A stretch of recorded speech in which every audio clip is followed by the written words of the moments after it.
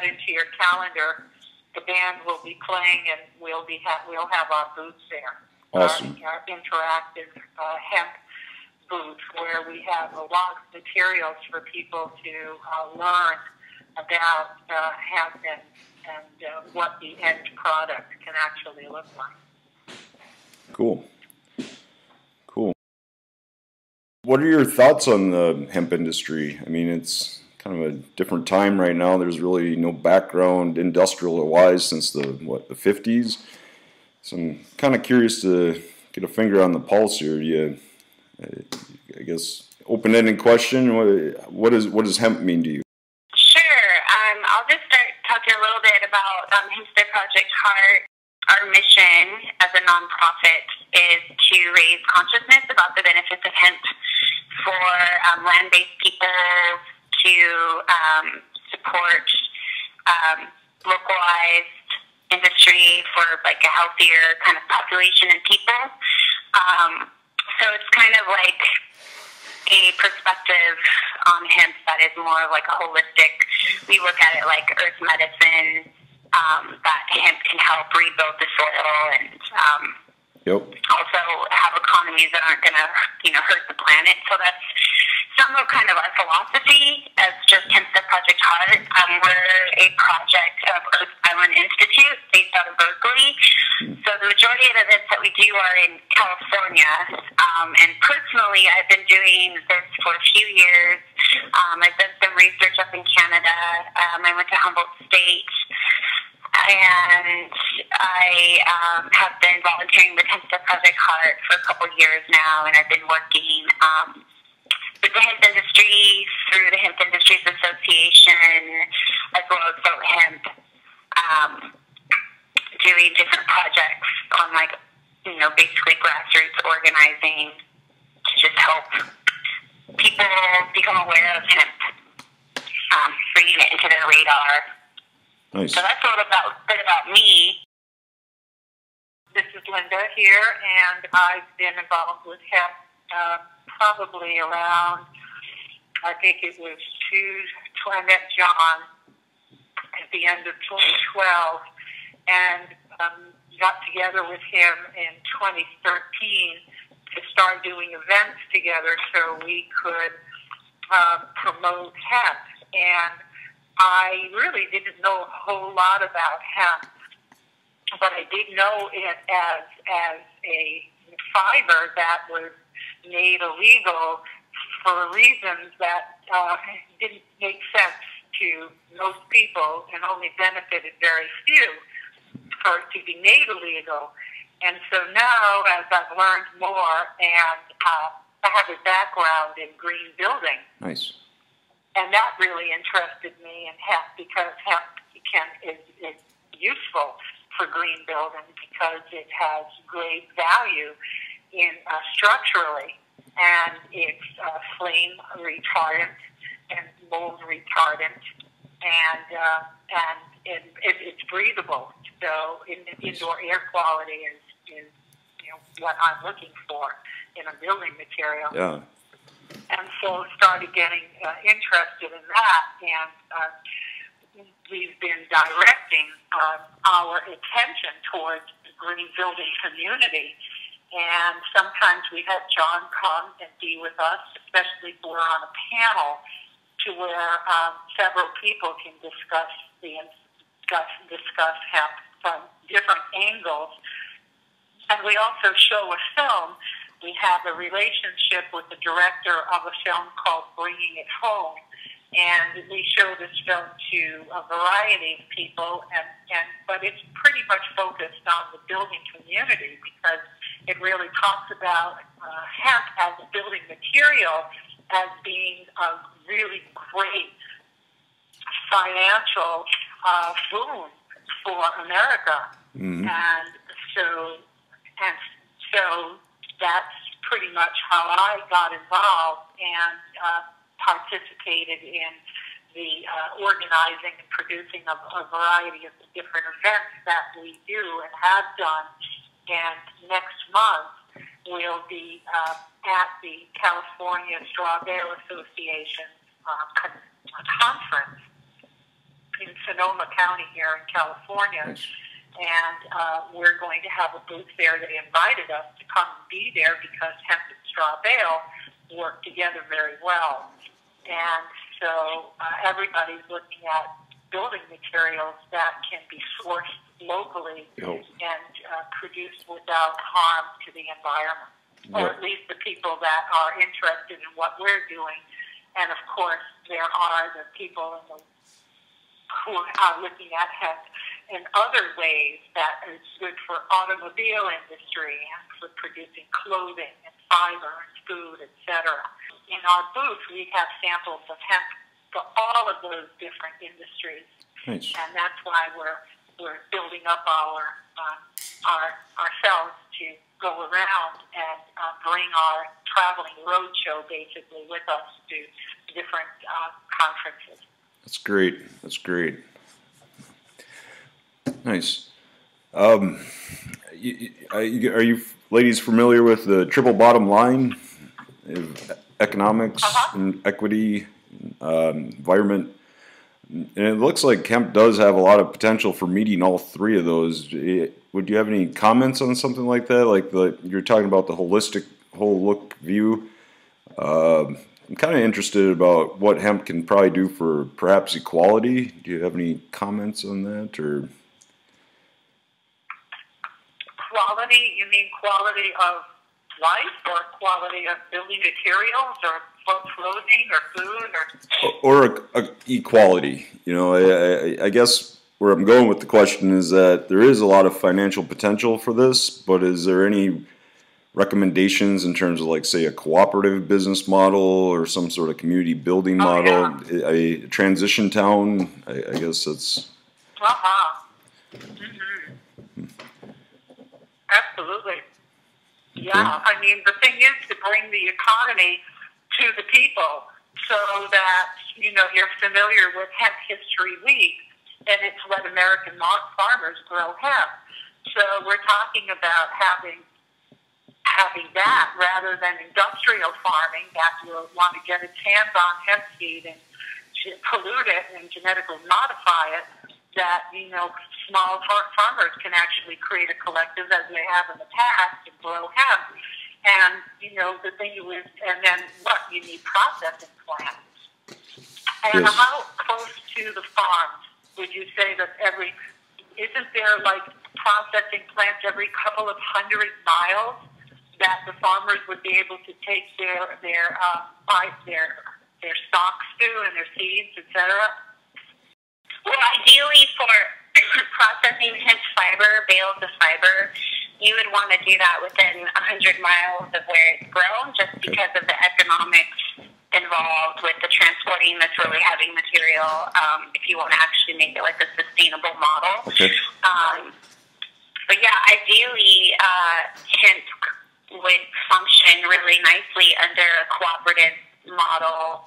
Uh, you know, you'd have the regional farmers kind of clustered together where the hemp is going to be grown, and then you have your processing, and then your local industries or businesses that'll contract the material and the seed, the fiber and the seed. Yeah, and they did that in the Parkland region up in Manitoba when in 1998 they started growing hemp again.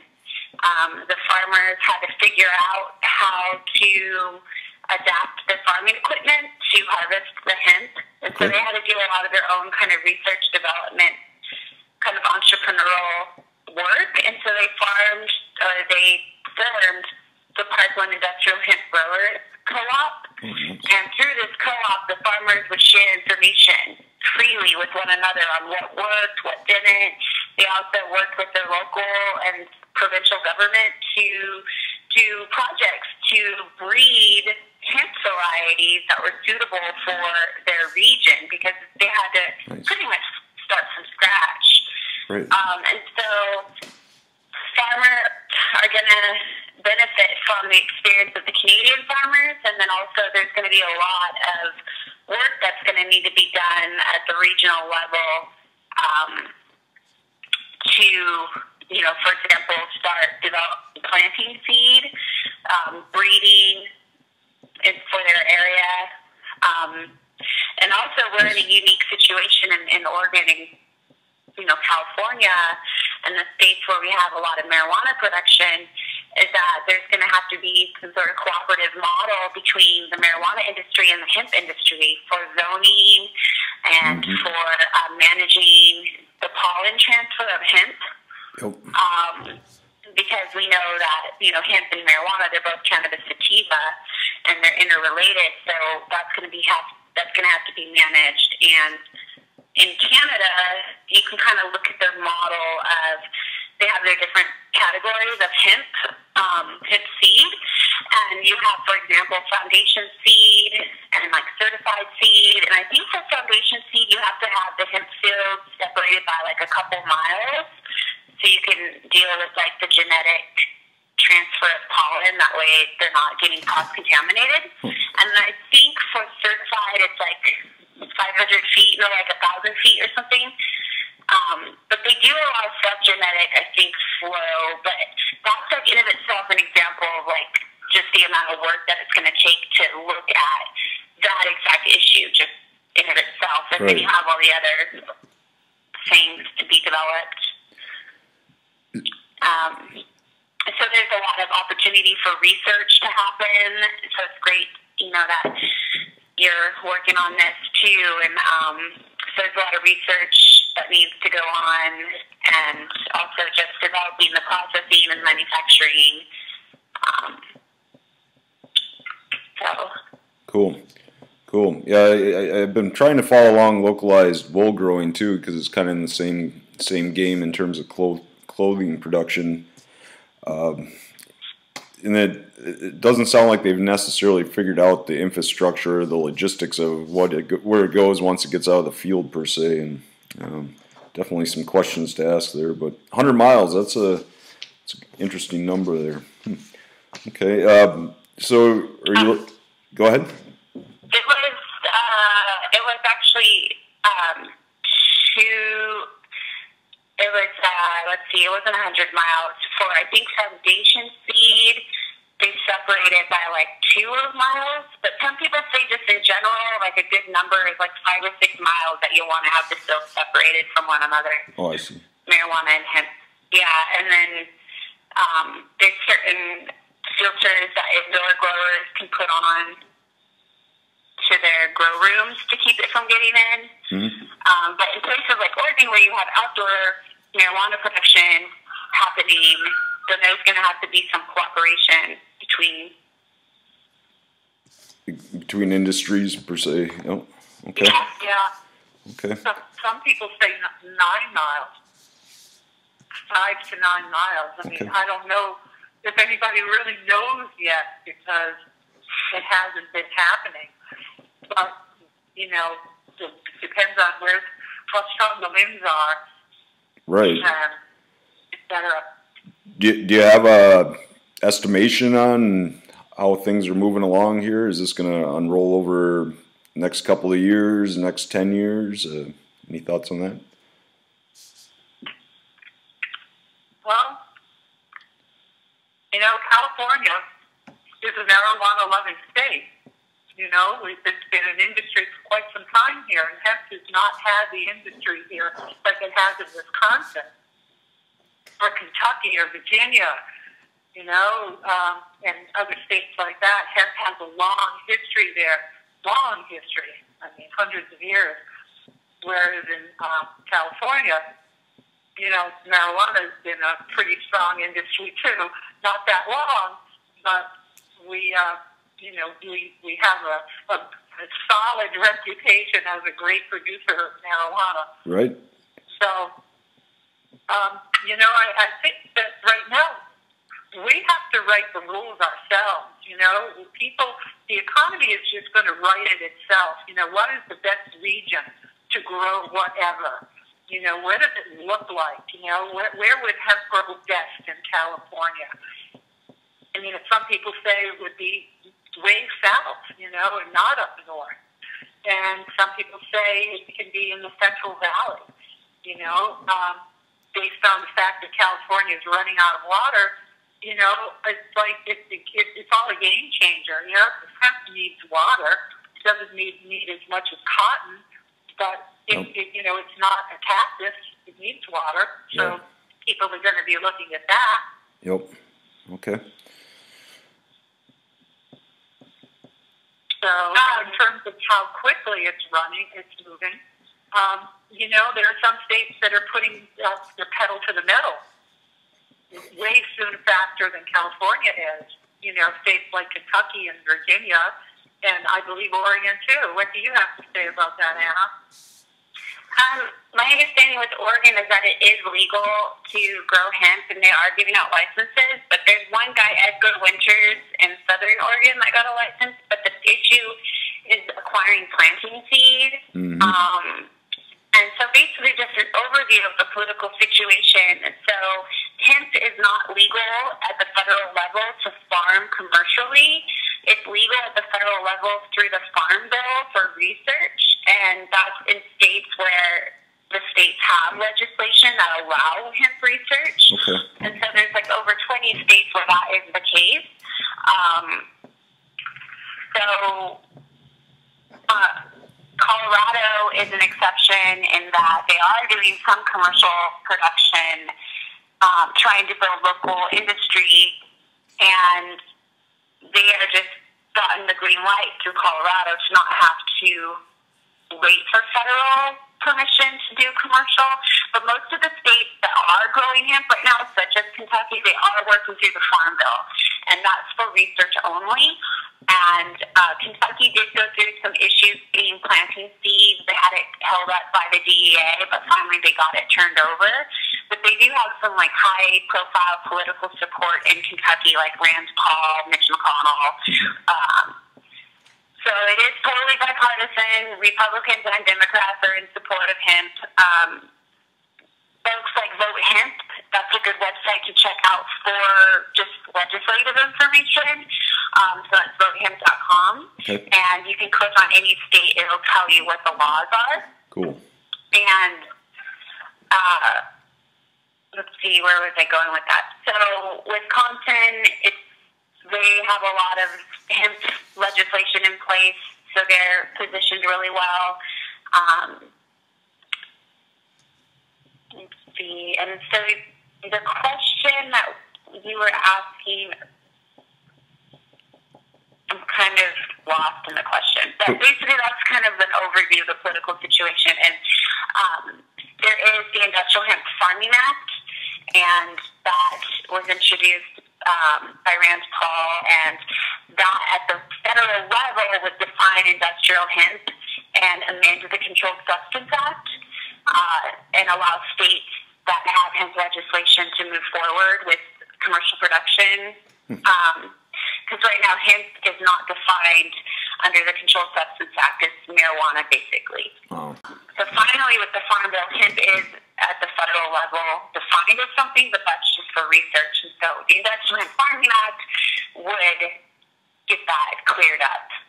Hmm.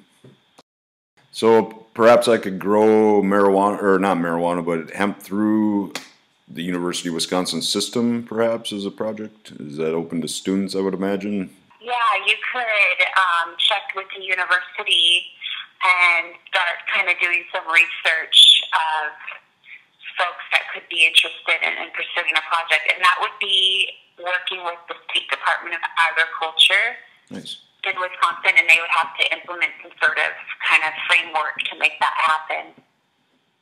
I, I also know that the market is what will drive this.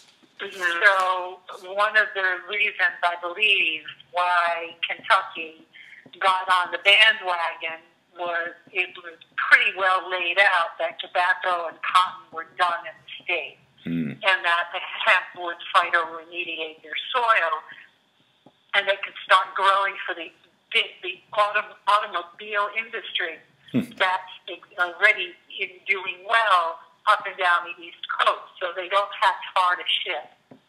And I don't know about the processing plants or whatever they got, but they certainly were the king, so to speak, of hemp. Lexington was the hub for uh, hemp in back in the day.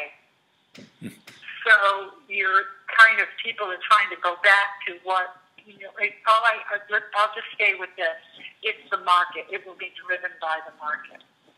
Yeah, and that's what the California Department of Food and Agriculture said to the Hemp Industries Association when they met with them a month ago.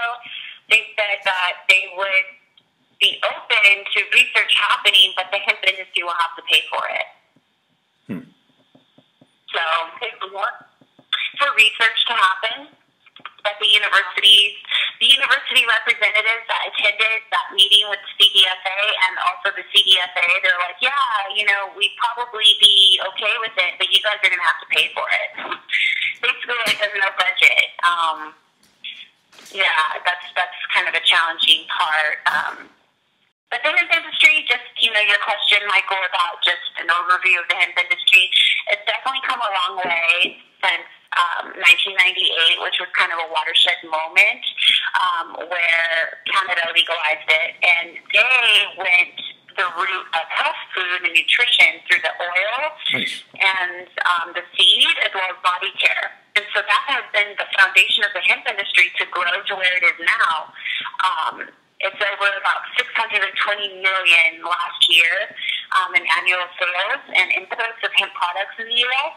Um, the fiber industry is still pretty small, and most of it's coming from China and France and Romania um, imports for the, the textiles and different things. Um, but yeah, the hemp health food industry and body care has really been moving it along. That's brought a lot of awareness to farmers in the U.S. and, and different people that want to see it grown here as well. Do you know of any uh, problems Canada may be having with the process? I mean, are they? How do they get their seed to begin with? China, perhaps, or Um, well, originally they went, for example, in Manitoba, which is the prairies right above North Dakota, they went out to the Ukraine and they got Ah. genetics from there. And then they started their breeding programs. And also they did some varieties from Finland. One of the popular one is called Finola, um, and that's an oilseed variety okay? and they just kind of started breeding shorter um, hemp varieties and started developing cultivars and like pedigree, basically like certified seed. Um, and they're very particular about who they give those genetics to in the U.S.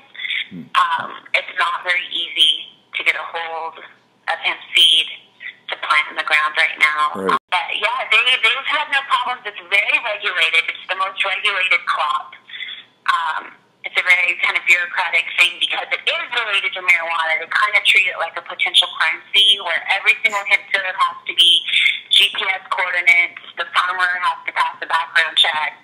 Every field gets tested to make sure the THC levels are within the appropriate level, which is 0.3% maximum THC, but often way less than that. Um, so and it's interesting because even though Canada is one of the countries that grows the most hemp, if you compare hemp to the other crops, it's about less than 1% of total acreage in Canada is hemp. so Right. it's still really small. Uh, but it's growing. It was like over 68,000 acres last growing season. Farmers like it. It helps break disease cycles on their farm. They notice that it, it benefits and they get about two hundred to four hundred dollars an acre for certified hemp grain, which is like the final product grain. Oh. Um, and if you compare that to corn or soy, they get about 160 an acre in the U.S. for corn or soy. So hemp definitely, you know, has a higher um, price that get, but they have to have a contracted buyer. That's one thing too with hemp. Okay. In the future, farmers have to be careful that they have someone that is going to buy their crops from them. Okay. Well, you've got companies like Nutiva here in California with, who buys a lot of their seed from Canada, and they're having a hard time keeping up with consumer demand for organic hemp seed. because of the reasons Anna gave you and the fact that a lot of land is already dedicated to other oils rather than the hemp. Maybe there's some change going on where they're, they're going to start reducing like the canola fields and start putting hemp in because canola is uh, probably not the best oil there is, and hemp because it's so high in omega threes and omega sixes, etc. You know, it has a, a higher value. And so once again, it's driven by the market. When people start to become more educated and start realizing that if they have a choice and they can get this or that for pretty much the same amount of money, and this will be more beneficial to their health, and it's not going to taste terrible, it will taste just fine, then they're going to go for that. And so this is all part of what Hempstead does with how we educate people because we are an educational nonprofit on making smart choices that make sense. Yep. Well, that that is one of the most important things with the market-driven economy is having accurate information so the consumer can make good choices, and that, yeah. Yeah. Hmm. Absolutely. And so for somebody, for a company like Nutiva, having a hard time supplying their, their customers with the heat, the hemp seeds because they can't find, they can't keep it up because they can't find the organic seeds to make their oils and their, their uh, et cetera from. That's, that's an interesting problem to have, especially with the United States still lagging behind rather than picking it up and saying, woohoo, boy, you've got it, here it is. It clearly shows that you are, this, you know, you're a small company, that you've gone through the roof in sales of this product. We could create jobs just by building the processing plants in and of themselves, you know, putting farmers to work rather than having their fields lie fallow, you know, lie empty you know, that they can actually start growing a product that's going to pay them.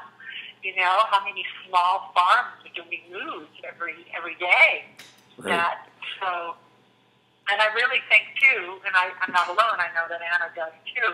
That um, uh, that boutique farming is is uh, is a niche market in and of itself. I mean, if you were to compare the farms growing for McDonald's as opposed to the to the organic farms growing for Whole Foods, etc., you will find that the smaller farmers are spending less money on pesticides because the hemp doesn't need those pesticides, and organic foods don't either. So they're saving money there. And they're saving their seeds because, once again, if the seed becomes GMO, then you're dependent upon Roundup, etc. So we're not just talking about simple stuff here. We're talking about a very complex system in place that we're basically here, in, in a sense, breaking the chain. Mm. And so hemp is a big, strong component in the uh, chain, the chain breaking element of things, where you're bringing it home and you're making a, a collective for small farmers who are actually making a living and healing the soil and creating products that are good for our health. Do you have any uh, recommendations uh, in terms of trying to keep it in more of a cooperative family farm kind of style versus, you know, is big industry just going to come in and uh, sweep up on all this, or? It depends on the farmer, what the farmers are saying too. You know, educating the farmers. What do you say, Anna? Some states have minimum acreage required for a license. I think it might be 10 acres in California um, for commercial. Some states it's more.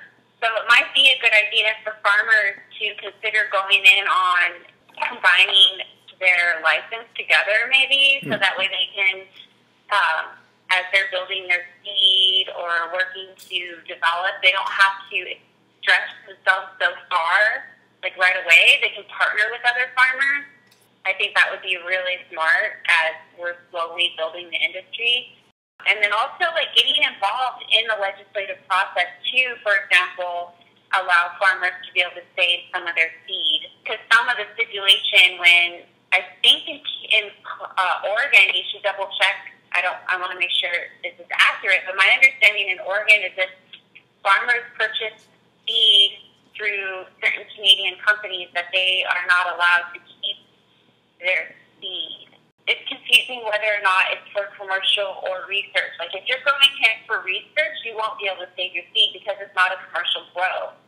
Um, so it just, I think my my advice um, is that farmers should really um, be try to get involved with the legislative process or have representatives um, that can provide accurate information because it varies from state to state. And honestly, like I'm not completely aware of every detail in Oregon because there's so many things going on nationwide. Um, but I do want to introduce you, Michael, to a guy named Chris, and he's in Oregon. He has um, a company called Oregon Hemp Works, Great. and he is really active. Uh, in what's going on out there. So he can answer more specific questions probably or help point you in the direction to get more of these detailed Awesome. questions answered. Awesome. Yeah, I think you're on Facebook. I think I found you. Do you have a beard? Yep. Yep. That's. Okay, cool. So I will I will message you Chris's info so you can connect with him. cool. Awesome. Yeah, he's in Oregon City. Okay, just down the road here, not too far. Is there any other thing you ladies would like to add to all this? I appreciate you taking some time with me here, and it's uh, been very informational. Appreciate that. Um, oh, Yeah, I'll send you some links to a couple people in Oregon that you should connect with. One of them's Chris, and another one, her name's Courtney. And there is a Hemp Industries Association chapter in Oregon. Um, and so these are some of the people that are really active and, and know what's going on out there. And it'd be really great, too, if you could share with me what's going on so I can understand, too, like keeping me in the loop um, about commercial versus research production, because I'm a little confused about how that's going down in Oregon. okay. Um, but I know Edgar Winters is the name of the farmer, and I think he's near Eugene area, Southern Oregon. Um, Cool. so Okay. yeah, I'll send you some info. There's also really good reports that you can read. Like there's the CRS report, it's the Congressional Research Service report, Okay. um, really legitimate. And uh, there's also National Industrial Hemp Strategy out of Canada. Um, I wrote a work uh, research paper at Humboldt, and there's a lot of good quotes from farmers and stuff in there. It kind of gives an overview of different interviews that I did. Um, Great. Awesome. so yeah, Awesome. yeah. All right. Cool. And uh, please like our page if you haven't already, our Hempstead Project Heart page. Okay. So like our Hempstead Project Heart page and tell your friends about it. And we also have these wonderful T-shirts that we promote through our website. That was the, the T-shirts were designed by John Trudell, and it called, the the T-shirt says "Think More, Believe Less." Awesome. and it is they are hemp t-shirts and uh, they look great. They help to support us because the whole point of of us having this, I won't say it's the whole point of of Hempstead is to do what we're doing with you today. Awesome. So we're uh, constantly looking for uh, people who are willing and wanting to support us by, uh, we're going to be having more products too. We'll be having calendars and uh, with uh, and work from John to uh, cards, that sort of thing. But that's small change. What we're really looking forward to is to really getting this movement going. And Hempstead has been doing this for the last couple of years, and we're really spearheading a lot of change. And so we're very diverse. There's third person who's part of our group. Her name is Leah Walters. She's also a total advocate. She refers to herself as a solutionary Nice. to uh, to hemp, and as hemp as being earth medicine and the total solution to uh, all our many of our ills and woes.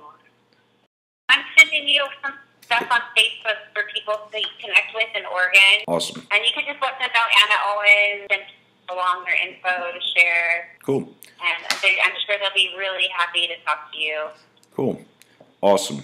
And if you see John, tell him hello for me. I'd like to chat with him again sometime. So, He's at he's at South by Southwest. oh, very The nice. band is performing on yeah. The band is performing on uh, Saturday Awesome. there.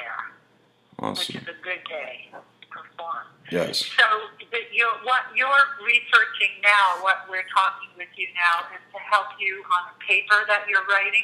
Yes, you're laying the base for. I'll probably put together a survey based on this interview, just to, for one, to maybe gauge where the average person's at with hemp awareness, and basically, Yeah. just this is like the seed to this whole project was this conversation. So, I, I really appreciate that.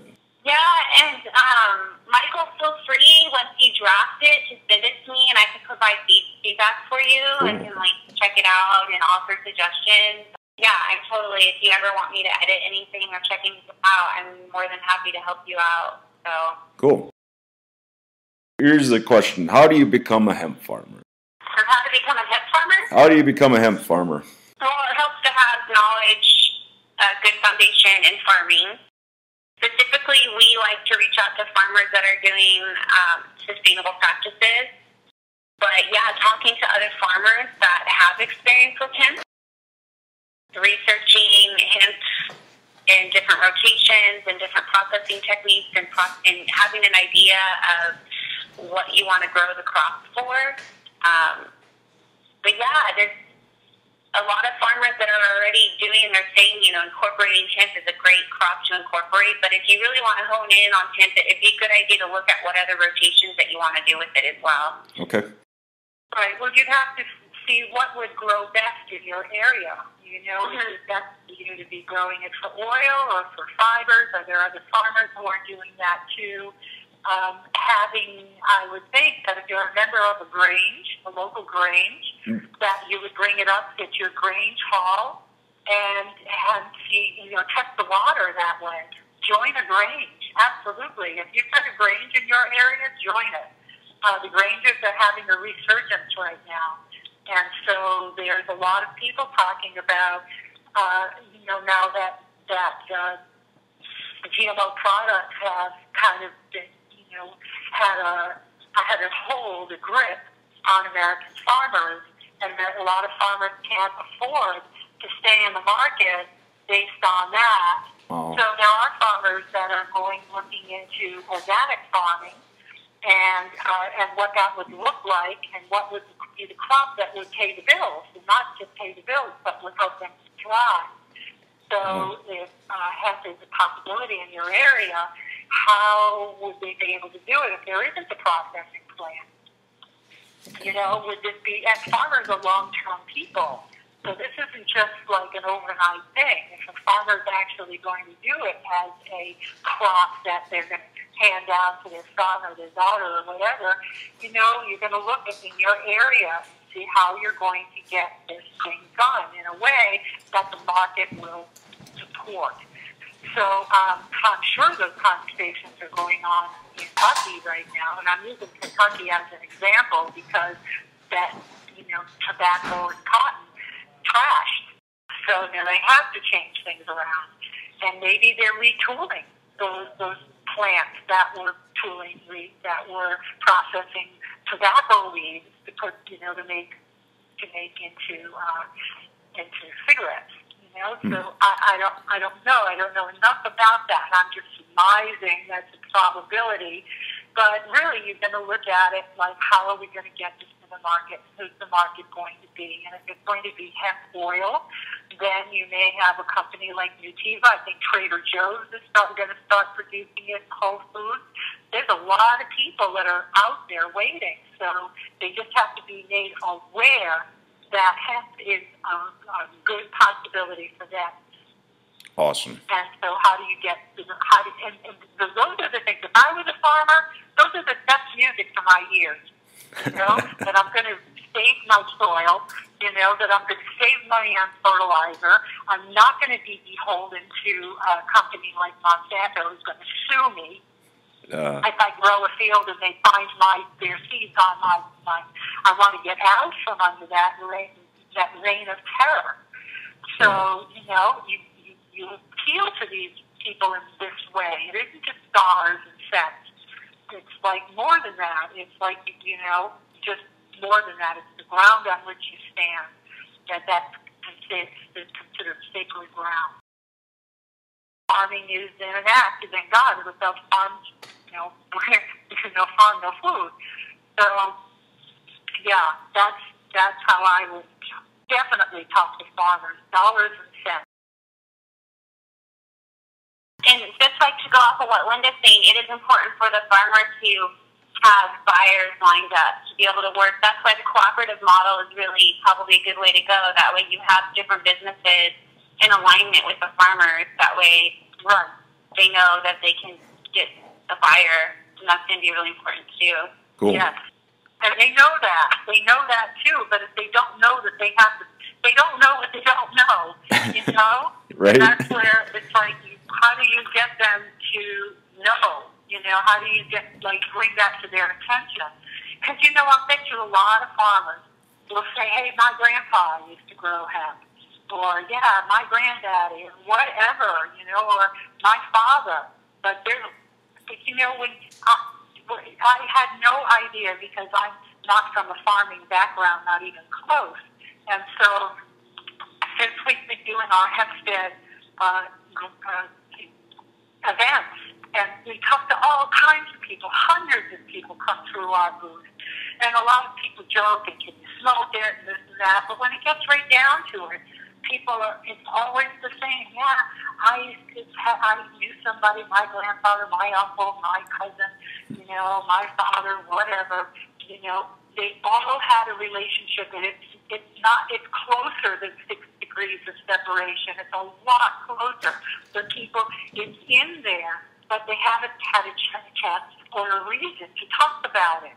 So I really think that there's more of a groundswell than we realize and there's more of like American thinking of ourselves as being individualist.